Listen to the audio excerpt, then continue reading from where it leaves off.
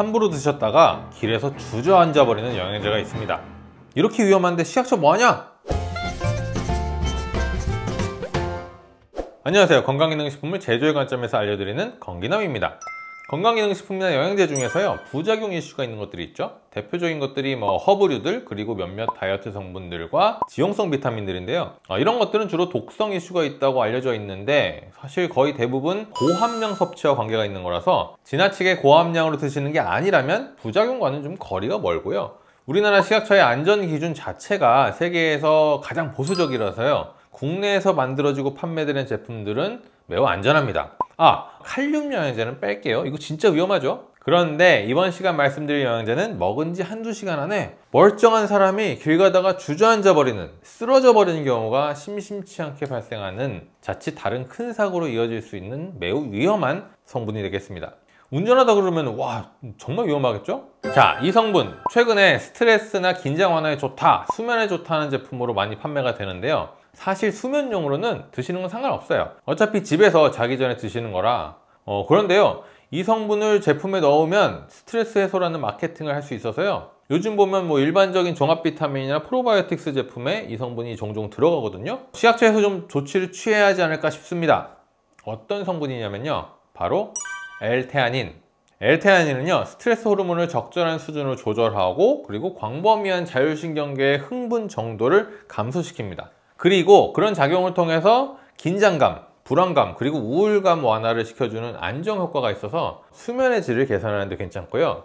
게다가 혈압까지 일시적으로 낮춰주는데요. 문제는 이 혈압, 혈압을 일시적으로 낮춘다는 데 있습니다. 혈압이 낮아지는 게 뭐가 문제 하시는 분들 많으시죠? 그런데 이 L테아닌이 유난히 잘 받는 분들이 계시는데 그런 분들 중에 저혈압이신 분들 굉장히 위험합니다. 태아닌 제품 혹은 태아닌이 들어있는 제품을 드시고 한두 시간 후에 처지시거나 그 자리에 주저앉거나 쓰러지는 분들이 꽤 많거든요. 여성분들 중에 저혈압이면서 예민하신 분들 의외로 많으시죠. 그런 분들은 각별히 조심해야 할 성분이 되겠습니다.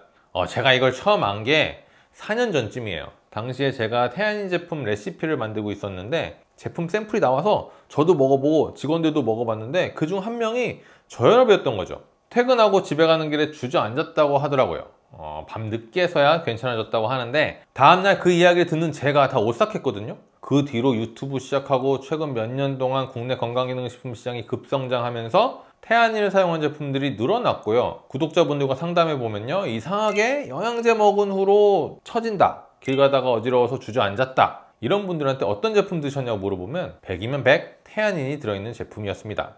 더 큰 문제는 식약처가 아직 인지를 못하고 있는 것 같다는 거예요. 제가 앞서 말씀드렸죠? 시중에 많이 팔린 제품일수록 부작용 신고 건수가 많다고. 그런데 이 태아닌 제품들은 최근에 제품 가짓수가 많아지고는 있지만 아직까지 전국적인 히트를 친 제품은 없어서 즉 아직까지 부작용이 이슈될 만큼 많이 팔리지 않았거든요. 게다가 시각처에서 정하고 있는 L테아닌의 섭취 시 주의사항에도요 혈압이 낮거나 예민한 사람은 주의하라는 문구가 없습니다.